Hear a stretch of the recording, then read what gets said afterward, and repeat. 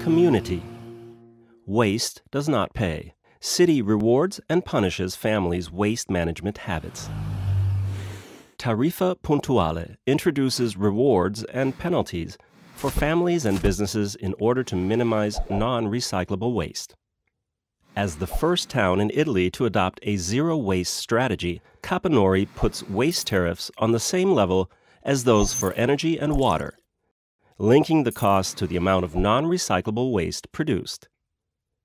This method encourages all households and businesses to maximize waste separation, which through recycling generates value from waste and extends its life.